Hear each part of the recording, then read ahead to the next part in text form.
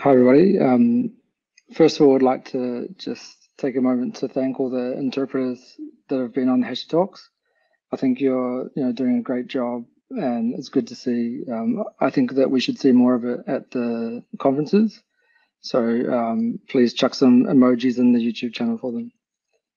Today, will this will be a cultural track, track, so it won't be focusing on code.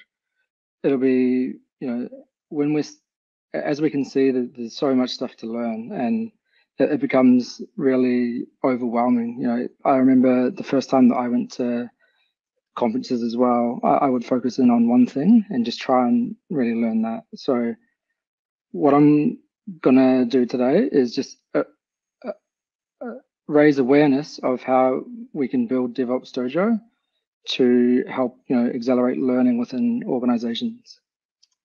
So I'm going to focus on what a DevOps dojo is. For the first time, a lot of people probably don't know what that is. Um, so I'm going to go over what are DevOps dojos, the outcomes of a dojo, and you know show some companies that are using them as well, and then go over the dojo roles. So from master, coaches, apprentice, and participants and then share our experiences in in building these dojos and running them successfully because there's a lot of organizational challenges that we have with a dojo and, and just show what did work what didn't work. And especially a lot of people were working from home in the last couple of years. Generally the dojo was more physical. So just how we sort of had to adapt from you know the the traditional ways of, running dojos. So, um, for those that don't know, my name's Brad McCoy. So I'm a CNCF and CD Foundation ambassador. So I'm quite uh, involved in the open source community. Um, and yeah, the first thing is what is a DevOps dojo? We've heard this buzzword for the last couple of years, but there's not too many talks on it. You know, a lot of people talking about code. So a DevOps dojo is, you know, some people think of something like Cobra Kai. So it, it actually derives from Japan. It's a, a, Japanese word for a, a hall or a space for immersive learning. So immersive learning is really the key to it. It traditionally was used in the field of martial arts. So where folks would come and then you know study karate and and just practice every day.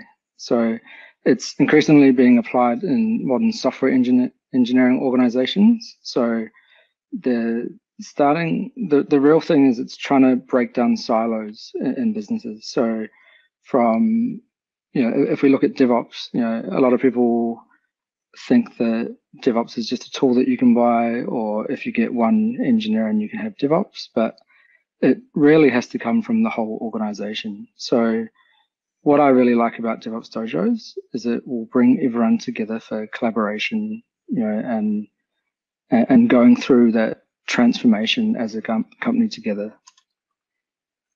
So when we talk about immersive, um, it's an experimental style of engaging the team and at many levels as possible. So a lot of people learn differently. You know, some like to do it practically, some like visually, some like verbally. Um, so these are sort of the, the definition and the components of an immersive environment. And yeah, the best learning and growth happen when people apply new skills to the product backlog and are able to break past existing organizational constraints. So think of like pretty much every single company I've been in has, you know, I guess I wouldn't call them issues, but they have, yeah, constraints about how they can deliver software faster. And in my experience, a lot of it has been political. So um, I've had a lot of political problems where there's certain people that want to own DevOps, and you know, um, by having these dojos, it, it sort of brings accountability and sort of governance and ownership to like the whole business as a, as a whole. So in software engineering, they help improve development, automation, QA, delivery, lean, and agile. So it has a strong emphasis on agile. so so generally it, it's agile and then software engineering. So generally when we do them, when we first you know start implementing them into businesses, we'll have focus on a small task to do, and then we would bring people in from different teams, and that really helps like improve collaboration and trust and transparency. So it's about breaking down all of those silos. So when I say silos, I'm saying the development team might be fully siloed from the cloud team. So they're all working on different initiatives. So the idea is that you, this is a good thing for domain driven design as well. So you can't just read a book on domain driven design and just say, I'm going to do that tomorrow. So this is actually a good way of experimenting with it to see how mature you actually are to adopt that. So yeah, it's it's good to just focus on a small task and then get different folks from different teams in together and and learn together. So so one of the first dojo that I did was on Kubernetes. So we wanted to upskill the whole business in Kubernetes, and that you know takes quite a while. That probably takes you know a good half year to a year to actually do that. So we started implementing dojos. Generally, dojos traditionally have been, you know, for three days straight, or they're, they're generally like for a whole day. But what we found is, you know, a lot of people for some reason love meetings these days. So we found that just breaking them down into smaller chunks, like maybe two hour sessions, was more effective. And then we had a better participation rate as well. So yeah, they, they provide continuous learning by experimentation. So they're also known as innovation labs. So you, you can really just step out of what you're working on at the moment and, and focus on innovation. So the outcomes of a dojo, there's so many outcomes. So, you know, for one, you upskill your staff and I've put engineers through certifications as well um, Kubernetes, uh, Terraform. We're doing Vault at the moment as well. So we're actually running a new do- dojo for Vault. And when you upskill staff, you, you you keep them satisfied in their job. So you're not worrying too much about company objectives, but you're, you're keeping them happy by, you know, upskilling them, and, and that makes them want to actually deliver more business value as well. So it also evolves your culture a lot. So I've sort of, yeah, when I've been doing them, I've met so many other people in the business. And generally, if you have scrum masters, product owners, it really lets the business, you know, work together to understand each other. So the engineers will get a better understanding of what the product owners actually want in a product. And that will actually help them to to deliver that product the way that it's meant to be, not just you know coding and thinking that that's the requirement that we have. So yeah, and it implements better processes as well. So some other companies I've been in, they struggle with um, agile, so they think they're doing agile, but they're actually not as good as they think they are. That they might have been in that business for five years or more, and and just think they know what it, agile is. So it gives you an excuse to sort of experiment with agile without annoying or bothering them, you know, saying this is wrong, let's do it my way. But it allows you to actually come in and say, well, let's try this way and see how it works. And generally, you know, it, it works better. And then you can sort of, it's a way of transforming the business because when you're disrupting a business with DevOps, it's actually a hard task. A, lot of the times I go to a new company, I'm like, oh no, I have to do this all over again. But what a, a DevOps Dojo does is it protects me from all of that. You know, um, you have to be very direct when you're implementing DevOps. So it sort of protects me from that, from without upsetting people, and it's sort of rolling in a process to the business that everyone agrees on. So it is really good if it comes down from the exco. So one of the key things is to get support from them. So get them to pay for certifications, you know, get get them involved as well. Like even bring them to the dojo, and that will, you know, um, make it very successful. And if they don't agree, then you can go and start your own little dojo with your friends in the company, and then just gain influence. And then one way or another, they'll have to sort of see the value in it. And yeah, they also do some common DevOps metrics, you know, like um, what we've seen by implementing a dojo six months after is we've, you know, we've really um, had value from the from these DevOps metrics. So you know, our lead time, our deploy frequency has changed, and and we're just seeing it's sort of the invisible things that you see in the business that you don't you don't really measure, but we're actually seeing a big change in the things that matter. So we're not doing you know monthly releases. We're sort of releasing on demand. Um, our lead time's much faster, and we're overall getting just a better product. So I'll talk a little bit about who's using dojos as well. So these are some of the sort of ones that have started off. So you can see, you know, these big companies, imagine how much process and politics they have in them. So yeah, it's really interesting to see that how they've used them and they've actually transformed very fast as well from being a more traditional old school company to a modern um, innovative company. So if anyone wants to see a little bit more, there's um, dojo.target.com. That's a really good one. They share their journey. So I guess this talk is more to make you aware of what a dojo is, but if you want to drill down more into it, then you can check out what Target have done. There's also a dojo consortium that I will share soon that gives you run books. So you don't have to reinvent the wheel or try and make this new dojo it will give you um, sort of best practices and run books for making your own. So all the hard work's done. You just have to sort of, and, and you can adapt that to how you want it. So this is the dojoconsortium.org. Um, they have, you know, they're, they're really focusing. This is actually inspired by a talk that I went to the Enterprise DevOps Summit in Vegas a few years ago.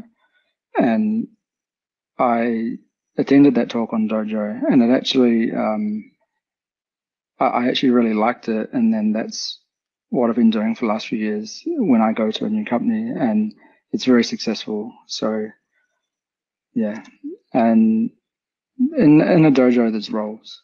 So you can have master, coaches, apprentice, and participants. So pretty much the master is an expert in both agile and software engineering they they would be someone that you know um, lives breathes DevOps and Agile, you know, has strict Agile, and and they play a major role to help the coaches. So in the past, the coaches I've generally had one coach as an Agile coach, and then one one would be a tech lead for engineering, and then obviously the Agile or the product owners would then go help people adopt the new processes that we're making for Agile and, and it just really brings collaboration so that both side of the fence understand each other. And then apprentices are really cool as well. So, you know, the whole the whole point of this is mentoring. So we actually want to mentor people through this this dojo as well. Like not only technically in an agile, but we want them to learn the the processes of dojo as well. And then obviously there's participants. So they can be anyone really from architects, engineers, product owners, scrum masters, the CEO, um, anyone really that the, the the more the merrier because it's gonna it's gonna really help the business to, to work as one unit instead of all different departments that don't really talk to each other.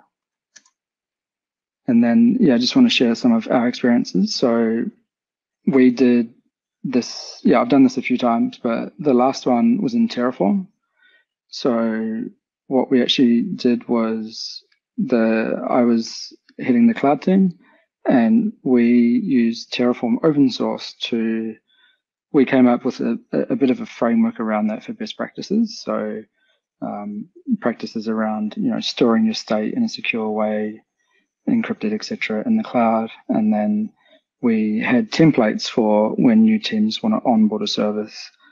So being, you know, using domain driven design, that comes with a lot of challenges as well. So what this helped us do was really, you know, it, it gave us a lot of governance around cloud because we didn't want the engineers to just go do whatever they want in the cloud. We wanted to put some rules. So we use um, things like OPA, TFSec, which has been some talks on already today. And, and we made that framework and then we would run the dojos to to pick an actual um, feature that needs to be done, getting the teams together, and then and then writing infrastructure as code together. So not only did we upskill the cloud team, um, all of the cloud team got their Terraform certificate.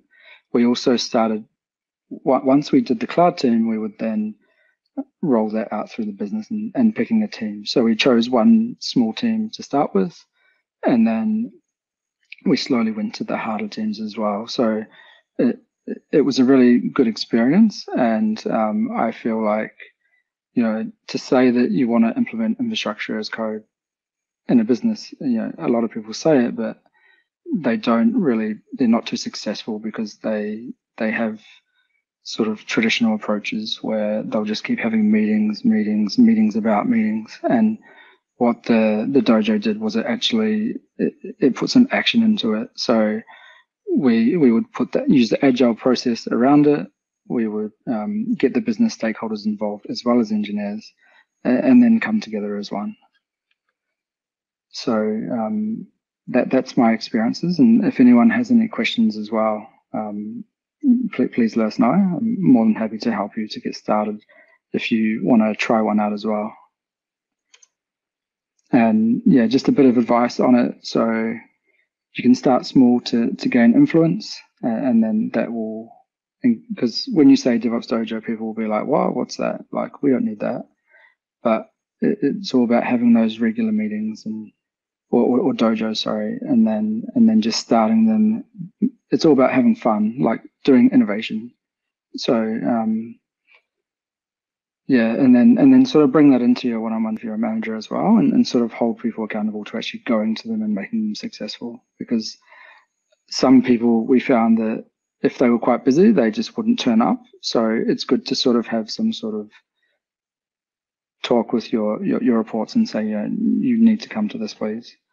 And then obviously, like anything, complete the journey as a team. You should lead by example as well. So, for example, any of the certs that I ask my team to do, I will do them as well. Generally, I do them before so that it sort of pushes them a little bit to to want to get theirs as well. And then get executive buy-in. That's very important. Um, and then yeah, get your company to pay for the training. That that's that's very very important because it's hard to get people over the line for you know they can train to be ready for the cert, but sometimes certs can be expensive. So that becomes a blocker if the company doesn't pay because then how can you complete it as a team if they don't pay because you know one person can just say i'm not paying this too much and then definitely reach out to the community for help so in the past, AWS has gave me access to burner accounts that I can use for the dojo. Um, we run a Sydney HashiCorp user group, and they've been very supportive as well for what we're doing. So um, just reach out to the community. Like the communities are getting so strong these days that you know that will help you a lot. And, and then just sit, you know set up discussions with some of the the coach the participants and just see how it's going for feedback almost like that retrospective. So um, yeah, I just want to thank you for coming, and and hopefully that was something a little bit different to the tech talks um, that you could yeah get something out of as well. So thank you.